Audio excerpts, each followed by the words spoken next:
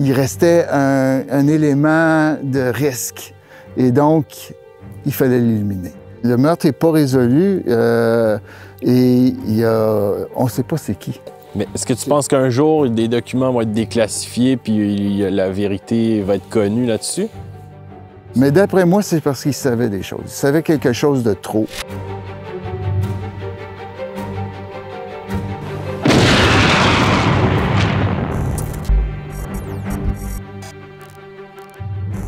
On March 22nd, 1990, in Brussels, a Canadian businessman named Gerald Bull was shot as he approached his apartment.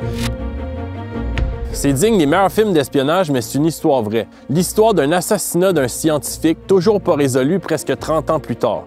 Certains ont pointé du doigt la CIA, d'autres le Mossad israélien ou les services secrets britanniques. Mais tout commence ici, à Highwater, dans les cantons de l'Est, tout près de la frontière américaine.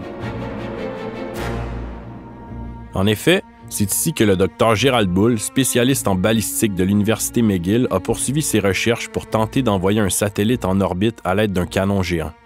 Nous sommes allés rencontrer son fils Robert pour qu'il nous fasse visiter ce qu'il reste des installations de la Space Research Corporation, autrefois compagnie de Gérald Bull, qui employait des centaines de personnes de la région au milieu des années 60.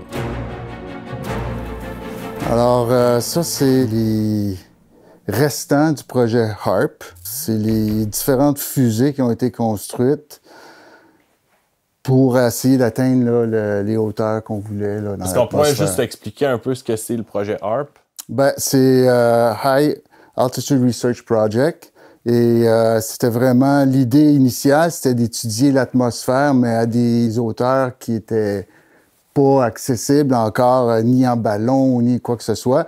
Puis c'était étudié pour le climat. C'était surtout climatique.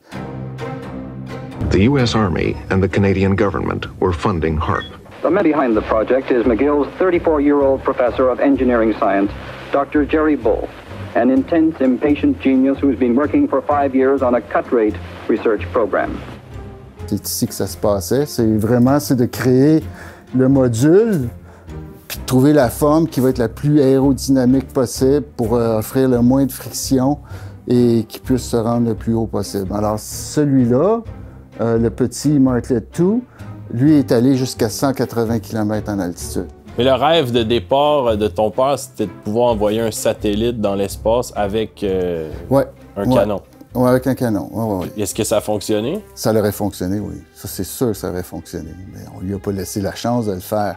En fait, euh, quand il a atteint 180 km d'altitude là, par canon, c'est encore le record d'aujourd'hui qui est encore dans le Guinness. Il a fait beaucoup de tests, mais euh, le Canada, avant la commémoration, a arrêté les fonds complètement. Et à l'époque, c'était évidemment euh, le, know-how de l'entreprise, Space Research, beaucoup, était beaucoup sur la balistique.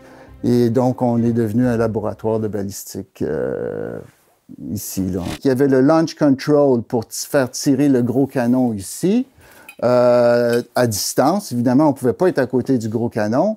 Et il y avait Parce que c'était trop. euh, ah oui, c'est- une explosion euh, majeure. Il fallait être à un kilomètre au, au- au minimum, euh, à un mille au minimum de, de la place. Puis ça, ben, ce chemin-là, c'est ce qu'on a toujours nous autres appelé le chemin du canon. Ben, les, les employés, euh, que, est-ce qu'ils circulaient sur ce chemin-là ici? Ben oui. OK. Constamment. Il allait au canon, il allait en haut. Il y avait pour rentrer là, on voit ici, c'est la frontière. Alors, on a du terrain des deux bords de la frontière. Les employés doivent se promener de chaque bord aisément. Alors, ce qui est arrivé, c'est qu'on a installé une douane du côté américain et une douane du côté canadien. Euh, et euh, c'était vraiment des douaniers, mais en même temps des agents de sécurité. Alors ici, c'était le, c'était la douane canadienne à l'époque. Alors il est là, c'était là le radar. C'est le top là. Ouais.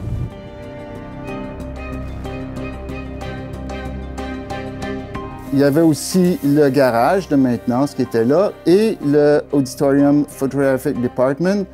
C'est euh, donc c'est le, seul bâtiment réellement qui est encore conservé là, comme, comme il était à l'époque. il n'est pas en, bonne, en bon état, mais ce n'était pas une, gra- une grande construction. Ça, c'était fait en, préfabriqué militaire. Et après euh, la, faillite euh, et la vente, c'est le bâtiment qu'on a gardé, nous autres. Alors, c'est pour ça qu'il est encore debout. Mais c'est c'est les mêmes rideaux euh, qu'il y avait à l'époque. Oui, c'est le même ça. mobilier, Puis mon père, tapis? quand il est sorti de prison, euh, on lui a gardé un bureau. Mais avant ça, c'était quoi? Cette pièce-là? Ici, c'était tout simplement le- l'infirmerie. OK. Les laboratoires photo, ici aussi. On a même encore euh, des films qu'on peut voir ici. Je prends un film comme ça. Oups. Alors.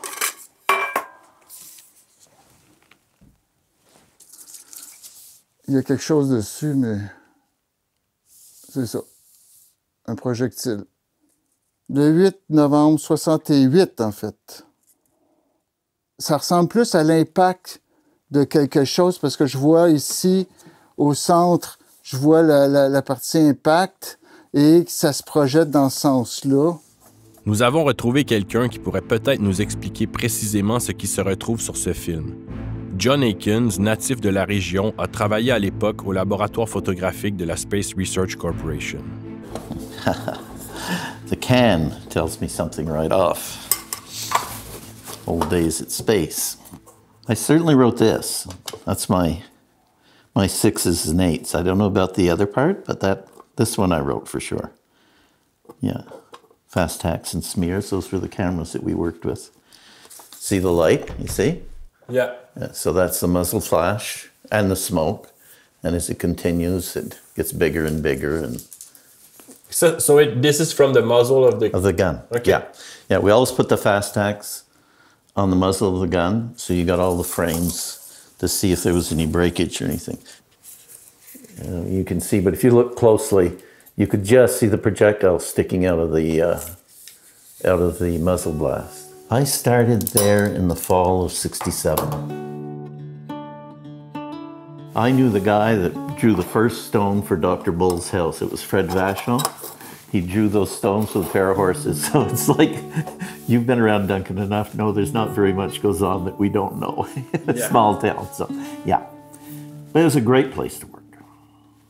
I mean, But you, you, you, you didn't have uh, expertise in photography. Uh, None at so- all. Okay. So you learned we doing learned it. it, learned it. What they did, and I, I'm sure they did this for a reason, is they would take people from the area uh, and they would put you, train you. You know, like uh, high speed photographer. There's not, in those days, there wasn't very many people in that trade. So they, they trained us to do that. One, they knew we were from here, so so we wouldn't quit and leave. If they found somebody from somewhere else, they probably wouldn't stay. And two, every time they shoot the 16 inch cannon and it would rattle everybody's dishes on the shelf, well, the old grandmother would probably not get too upset because her grandson worked there or her nephew worked there. Well, I don't want to cause him any trouble. And they were good jobs for here. You know, it was it was they were really nice jobs. They were interesting and and uh, everybody kind of was involved in what was going on. So when I went there, at that time, they were still doing work on the HARP, the High Altitude Research Project. So there was a lot of involvement with the Canadian government, and uh, it was all. Each department had military jeeps that you drove around in, and you got to drive. And I mean, when, you, when you're 18, 19, it's exciting. I mean, yeah, yeah. It was my youth to start with, you know. So, and it was the first real job I had. Ça, il y avait combien de- de- d'employés qui travaillaient dans cette bâtisse-là? Ici, oh, il était euh, une vingtaine de machinistes. Mais tu sais, par exemple, le, le gros martelet qu'on a vu, là, ça, ça se, que ça, fait se, ça transportait quoi avec. Oui, euh, c'est ça. Tu avais des, des rails, poutres. des poutres, ouais. qui servait à le, à le transporter? Oui, euh, exactement. Exactement. Dans cette ligne-là, ici, là, c'était là qu'il y avait le canon à gaz qui a explosé à Montréal. là. Ouais. Puis c'est ici qu'ils l'ont installé. Et il a explosé ici aussi. Dans la bâtisse? Oui. Si tu compares à- à- au gros canon, c'est comme si tu envoyais des électrons, là. Tu sais, euh, un canon à électrons, là. C'est vraiment des micro-particules qu'on lançait sur du matériel. C'est un- une des choses que la NASA voulait avoir, c'est les données, le, le data, de savoir quel, mat- euh, quel meilleur matériel pourrait être utilisé pour euh, les, les impacts dans l'espace, là. The RCMP staged a series of raids on a Quebec company today, the Space Research Corporation. They were looking for evidence that the company violated Canadian law and a United Nations embargo with secret arms shipments to South Africa. En 1980, Gérald Bull purge une peine de six mois de prison après avoir été reconnu coupable d'avoir violé l'embargo des Nations Unies sur les armes à destination du régime de l'apartheid en Afrique du Sud. Dans cette affaire, Bull estime avoir été le bouc émissaire et l'idiot utile de la CIA et en restera toujours très amer. Je fais plus confiance à personne. Euh, ça lui a pris quand même un certain temps avant de revenir ici, mais euh, ce qui était, lui a fait le plus mal, je vais vous, dire, c'est que euh, c'est quand il a voulu avoir son, permis, son passeport canadien, le gouvernement lui a refusé.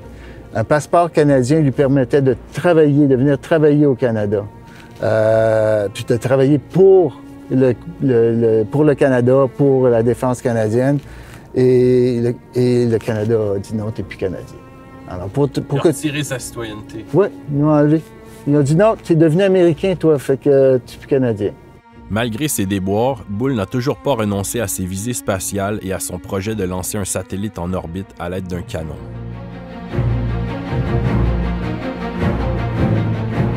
OK, allons-y. Ça, ça m'étonnerait que je puisse passer. là.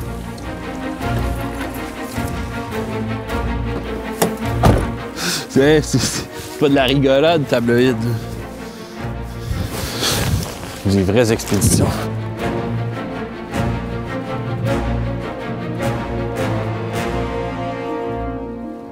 C'est les fondations de la- de- du bâtiment dans lequel on préparait le, le GC-45, qui était la pièce de la- l'artillerie, avant les tests. On rentrait là, puis on sortait par l'autre bord. là.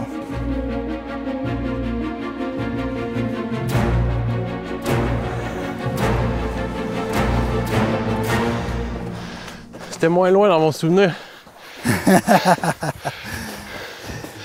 Peut-être c'est à cause qu'on était en camion. Euh, oui, ça allait aider un peu, ça. ça. hein.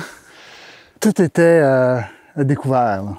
Ça allait jusque sur le flanc, là. C'était découvert sur un kilomètre en, haut, en montant, comme ça. Et tu peux voir, là, à travers la forêt, où est-ce que ça tirait, là. Le banc, là, de terre. Et la base était euh, à peu près ici, là, puis ça va... euh, ça va pas mal, euh, probablement 40 pieds dans le sol. Là. C'est quand même pas tous les, euh, les enfants qui ont eu euh, le loisir de grimper sur des, Non, des canons. hein. non, puis il y avait un char d'assaut juste là. Et Chris. Ouais. Il y avait encore des balles là-dedans. Des balles de, de mitraillette. Dans le char d'assaut? Ouais. Puis là, vous autres, vous montiez là-dessus, puis... euh, Ben, tu des balles, des, des, des cartouches, des douilles, là? des ouais. douilles. Ouais. Ah ouais, on embarquait, on ouvrait le... le- on embarquait Ah ouais, dedans, on le fermait, le, on le voyait terrain de jeu il- Ah, de, tous les enfants. Ah ouais. C'est sans compter tous les bureaux qui étaient ouverts, fait que nous, on rentrait dans les bureaux, on s'amusait à faire des niaiseries là-dedans. là. On March 22nd, in Brussels, a Canadian businessman named Gerald Bull was killed as he approached the doorway of his apartment. Shot twice in the head, three times in the back. It looked like a professional assassination. Euh, non, le, le meurtre n'est pas résolu euh, et il y a- on ne sait pas c'est qui. On ne sait pas qui c'est. Euh, on peut avoir des doutes, Spéculer, ouais. spéculer, ça oui. Selon la théorie la plus répandue, ce serait le Mossad israélien qui aurait procédé à l'élimination de Gérald Bull parce que l'État d'Israël se serait senti menacé militairement par le projet Babylone, un super canon que Bull développait cette fois-ci avec le gouvernement irakien de Saddam Hussein. Pour son fils, vu le peu d'impact militaire du super canon, cette théorie ne tient pas la route. Le canon avait été présenté aux Américains, aux Anglais, avait été présenté euh, dans un trade show euh, en Irak, avait été et Tout le monde le savait dans le milieu, que mon père travaillait sur un super canon avec les Irakiens. Ils ont rencontré les instances euh, américaines pour leur dire, leur présenter le projet, puis est-ce qu'il y a un problème avec ça? Puis il n'y en a pas de problème avec ça. C'est scientifique? Oui, c'est scientifique. Ça n'avait pas une vocation militaire, ce Ben canon. non, il n'y a pas de vocation C'était militaire. pour tirer de. de- C'était la, la même poursuite de tirer euh, des C'est la satellites même poursuite et, euh, et le bang for the buck pour, les, euh, pour Saddam Hussein, c'était de devenir un joueur en- dans l'espace. De dire qu'il allait utiliser ça pour tirer puis en construire plein, pour tirer à gauche, à droite, parce que c'était immobile cette affaire-là, c'est. Écoute, peux faire n'importe quoi. Et c'est très difficile de construire ces, pièces-là, les aligner, euh, puis juste de tirer une fois avec ça, si c'était pour tirer un explosif, là, euh, je vais te dire que tu devrais pas avoir du monde au moins à 30 km à la ronde. Parce que, je t'ai dit ici, il a, explosé trois fois. Ça peut très bien exploser euh, encore. Alors, tout ça, ça fait pas de sens quand on dit la version officielle acceptée par les médias. Et c'est dommage que ça soit euh, répété parce que c'est comme niaiseux. là. Euh, si on se fie aux faits seulement, là, au lieu de spéculer, on va se fier aux faits. là. Le personnage a été éliminé. Plus d'impact. Il n'y a, plus de menace, il est éliminé. S'il y avait été une menace sur ce qu'il faisait, on aurait pu l'arrêter en, en- en- tout simplement en lui disant arrête. Si tu continues, tu vas souffrir. Là, tu sais. Tes enfants vont souffrir. Il aurait arrêté. OK? Mais c'était pas suffisant qu'il arrête. Donc, euh, C'est par rapport à ce qu'il savait, tu d'après moi, c'est ça. C'est qu'il savait quelque chose. Puis qu'on- on sait que mon père, ben, il n'a pas la langue dans sa poche. Euh, donc, il restait un, un élément de risque. Et donc, il fallait l'éliminer. Il y a euh, une théorie, en fait, euh, qui émane du côté euh, anglais, qui est quand même assez bien documentée, où est-ce que euh, il y a une compagnie que mon père voulait acheter, la compagnie Poudrerie Réunie de Belgique, et il s'est fait doubler par une compagnie anglaise avec un prix moindre. Fait mon père a dit, mais comment ça? J'ai un bon prix, puis c'est une compagnie qui... Alors, euh, il, a commencé à faire des recherches là-dessus, puis il s'est rendu compte qu'il y a vraiment quelque chose d'illégal qui se passe là-dedans, puis ça concerne du financement militaire, du financement illégal d'armes. Et euh, il commence à se poser des questions et même le- un, des employés de la compagnie qui a acheté Poudrerie Réunie de Belgique a commencé à communiquer avec lui. Puis le jour qu'il s'est fait assassiner, il était avec cette personne-là en train de discuter sur les prochaines étapes de leur enquête. Et le jour même, euh, le soir même, il s'est fait assassiner. Euh, je trouve ça très intelligent, je dire, très plausible comme, comme, euh, comme, euh, comme Mais ça, c'est des choses qu'on n'a pas entendues beaucoup. Mais on n'entend pas ça Plus parce que c'est pas, c'est pas, c'est trop difficile à comprendre. C'est, quoi le financement? Euh, non, c'est plus facile de savoir. Il faisait un gros canon qui est l'arme, euh, euh, démoniaque, la plus grande arme démoniaque qui existe, c'est le super canon qu'aucune armée a parce que personne ne le veut, parce que ça vaut rien. Mais c'est ça qu'on aime croire, que c'est ça la menace, puis que c'était pour ça qu'il a été assassiné. Puis c'est bien plus facile. Et on règle, on, règle le dossier. C'est fait. Est-ce que tu penses qu'un jour, des documents vont être déclassifiés puis la vérité va être connue là-dessus? Oh, je sais pas. Je, je- je doute un peu. Puis, euh, nous, on a fait la, la paix avec ça quelque, ben, quelque peu. C'est sûr que c'est, on fait jamais totalement la paix. Puis c'est sûr que si euh, je pouvais savoir c'est, c'est- c'est pourquoi, puis euh, on pourrait faire au moins un closure. Saurons-nous un jour la vérité sur la mort de Gérald Boulle? L'histoire aurait-elle été différente si le Canada ne l'avait pas abandonné? En attendant, les vestiges de son rêve de conquête spatiale continueront de subsister dans les montagnes enneigées de Highwater. It was when the idea of having the best of something dropped into being mediocrity and just doing nothing that, that that's a disheartening thing. I feel more than betrayed. I all the memories and all the traditions and everything that I thought the country stood for has been betrayed. They think they've degraded me. They haven't. They think they've broken my spirit. They haven't. What I did and what I built, to see it cheapened, to see people trying to degrade me personally, is common criminal. For what?